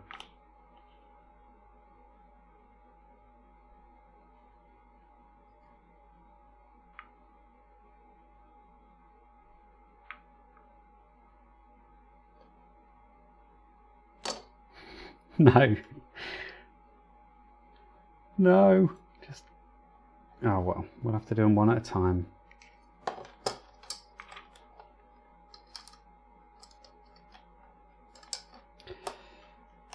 So I am fairly excited about making this. Oh, do they fit? Yeah, they do fit.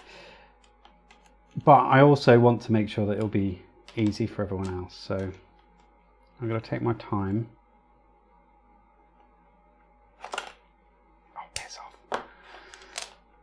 I need something to put on the back. What have I got?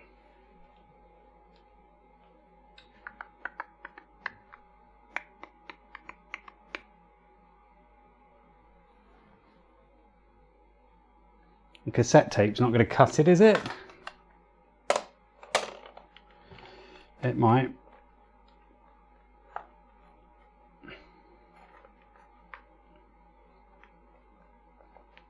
There we go. So that's what it's going to look like. That's kind of pretty cool, isn't it? Oh, sellotape was a great idea. I don't have any up here though. Let's see if we can't focus a little bit on that. There we go. So yeah, that's going to look all right. I'm kind of happy. So one thing I don't like about this is that I felt the need to have a reset button because the idea is this is not just a clock. Oh, that one's upside down. How how is anyone getting really really annoyed by by that being the wrong way around because it's really getting to me. It's going to have to come out. You want to know what colour the LEDs are? I'll show you in a second actually. We can light them up.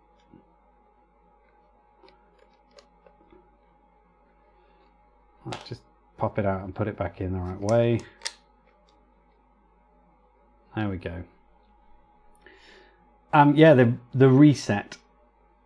Why did I make it so big? It's like not. It's a function of a stopwatch, sure, but it's not the function of a normal clock. And it being quite close to start stop, I don't know what the sensitivity is going to be like on this because I'm using those TTP. One's still upside down. Right. Well, it's staying that way. Uh, damn it. Yeah. So I should have. I think display on off would have been better off being that button there um, and that could have been reset so you can we can turn the displays off there's a display inhibit pin and it I cascaded it down all the ICs so it'll turn the whole thing off and then minutes and hours are by the minutes and hours so that seems all right to me but that that's a design mistake so I may change that all right let's have a look at the color of those LEDs let me just turn all of that stuff off hopefully my multimeter will light one of them. I don't really have a lot of other options. Oh, I am still in the process of deciding what um, what uh, color resistor to use. Right, I think that one's common, is it?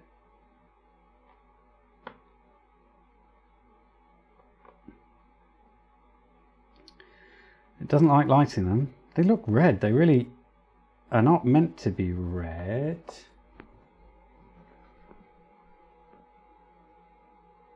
Right, let me check on the packet. It shouldn't be red, they should be orange.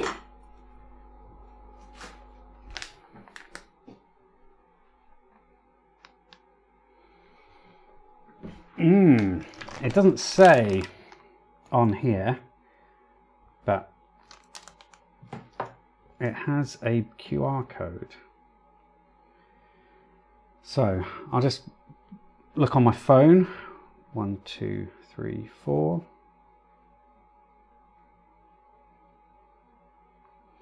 And we'll see what that says.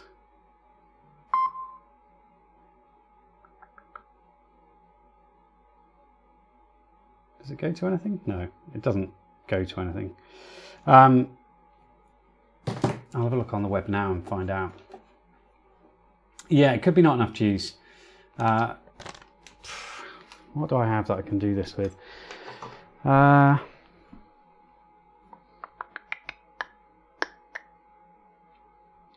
don't really want to solder anything to it, mind.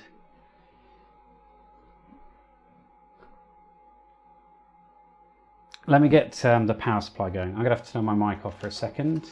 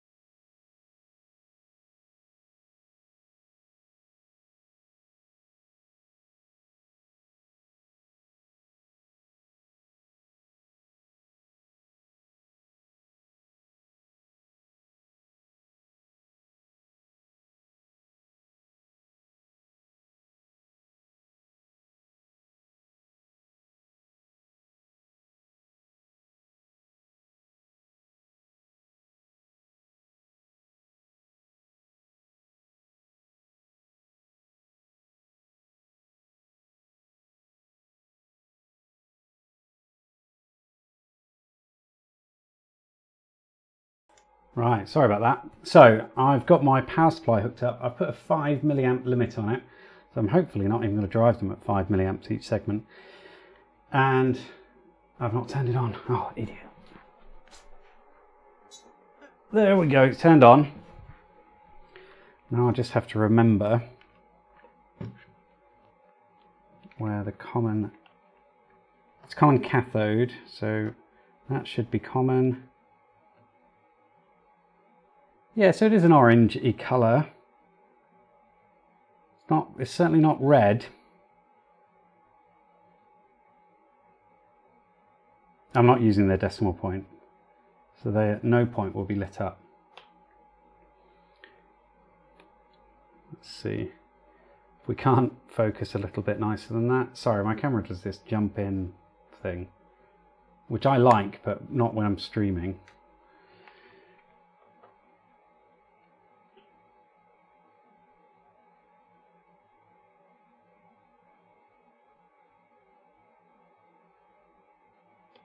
Oops.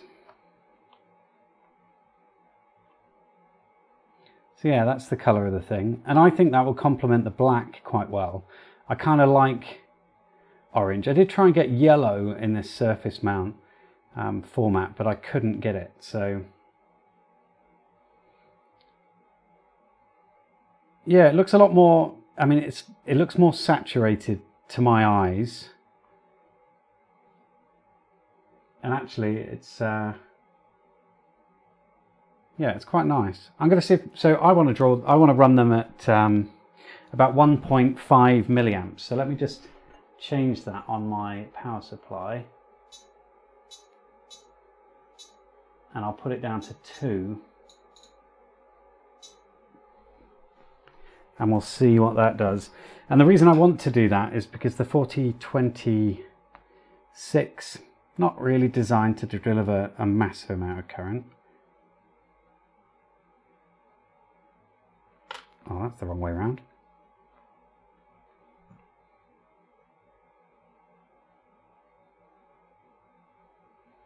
Yeah, so they still light up. It's quite a nice colour actually now.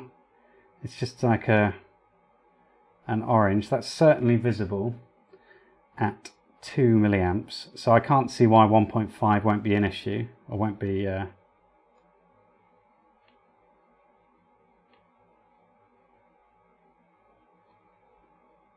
able to light the thing. Perfect. Right. I think that's it for me. I think I'm going to call it a night. Um, but I'll, I mean, I've not looked at the chat, so let me have a little look and then um, we'll sort of pack it up. I can't believe it. I've almost had one beer in two hours.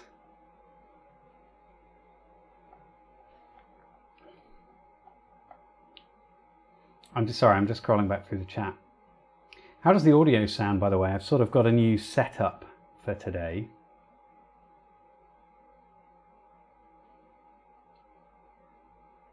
which is going through the lab mic. Usually I use the this big thing. Oh, you can't see it. This thing. But I can't get it in front with the camera here, so I've had to switch out.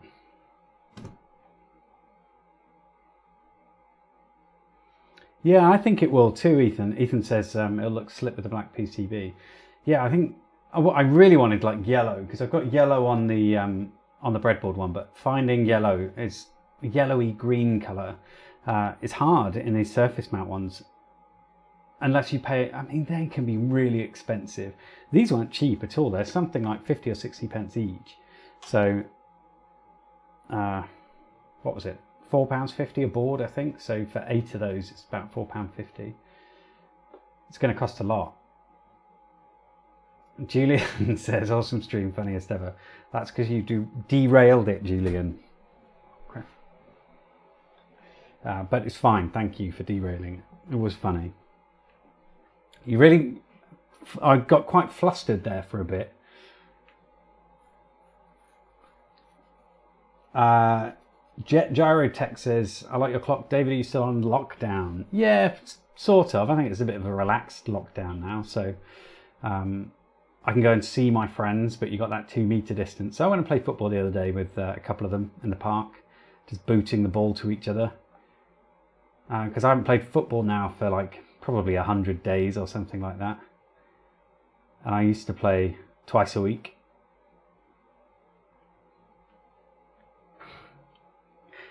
Sion's being cheeky. Sorry, can you say that louder?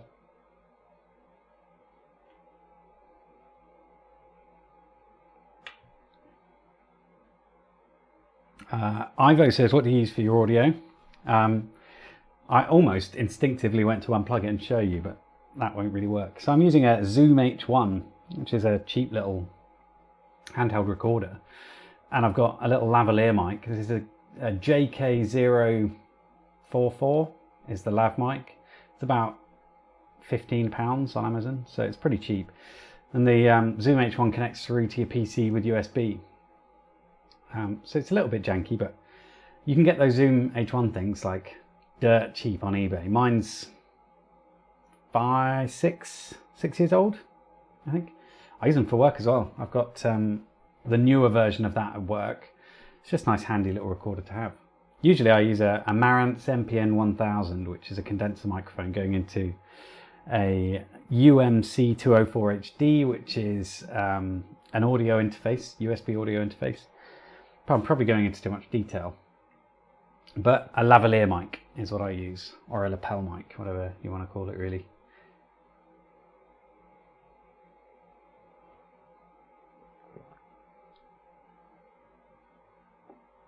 David Flustered Watts has a nice ring to it. Hairdressers, yeah. Uh, hairdressers are still closed, so I'm still cutting my own hair. I've done it three times now. Like, uh, get get the scissors out, do the the top, and then buzz the sides and the back. So yeah.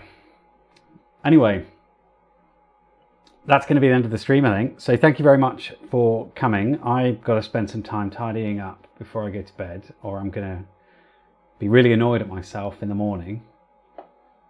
So um, I'll turn that off. Well, I was thinking that, Julian, that I don't. Maybe I don't need to go and get the uh, the hair cut properly again. Maybe I can just keep cutting it. Okay. Peace out, all. Thanks a lot for coming and hanging out with me. I enjoyed it. It was a lot of fun. I'm glad something sort of worked out. Well, you know, whatever. All right. Bye.